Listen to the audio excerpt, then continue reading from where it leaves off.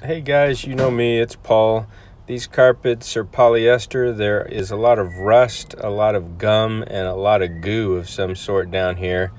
Um, some definite damage from the heavy furniture, along with some traffic. And in the bedroom, there's, I think he said it was Play Doh and some other blue artificial colors.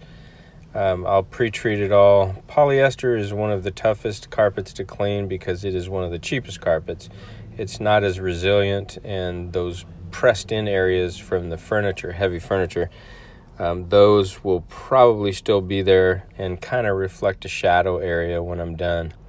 So I did pre-vacuum this. Here's the results. And just as I said, you'll see everything came out, but you'll see some of the pressed in areas reflecting the light a little differently.